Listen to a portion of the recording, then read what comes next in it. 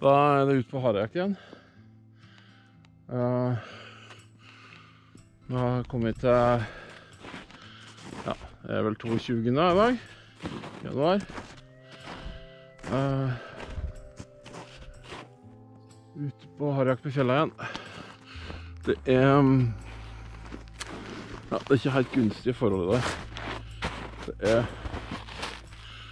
skarredag. Det er litt bløtt under der.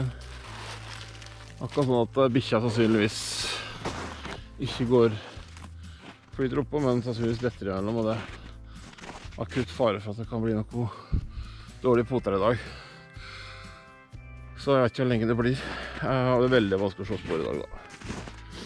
Så ja.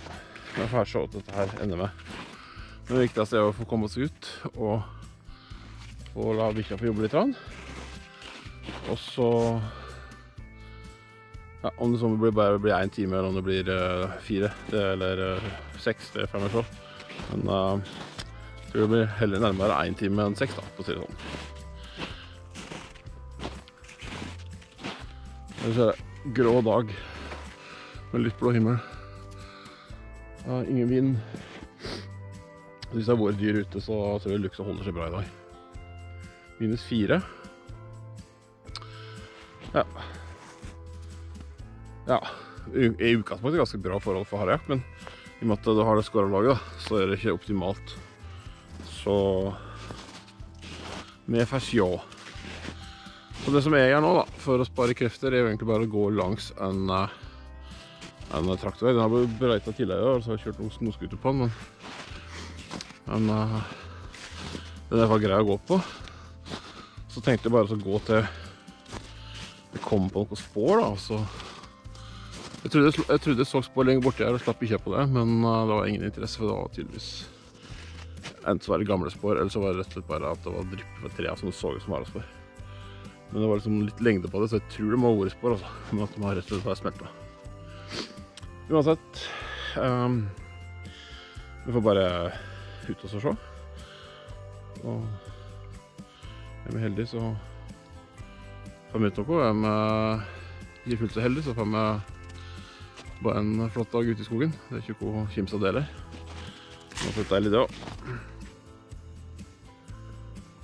Ja, det er ganske um, Eller det var ikke tæla før først noen kom, og så Da blir det sånn som dette her. Bekker og myrer kan være åpne. Og fikk snakke om uh, vannet, da. Har rekt å bore ned mot en sånn minus 20 tidligere, men uh, jeg mistenker at det er åpne drag, for jeg hører godt en, uh, en bekk eller en å da, som ringer bort her. Det er åpent.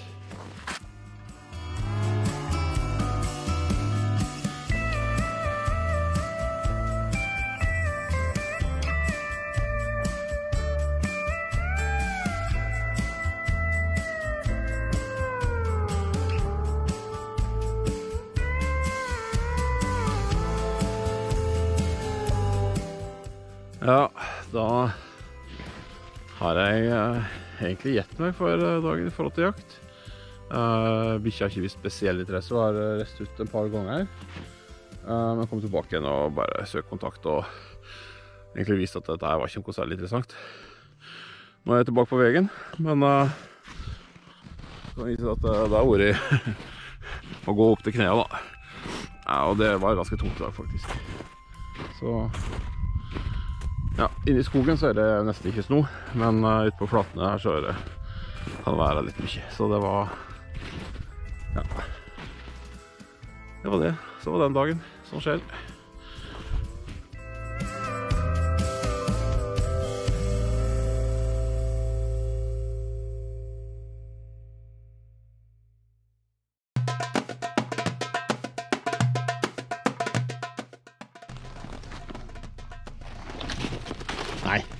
来来来。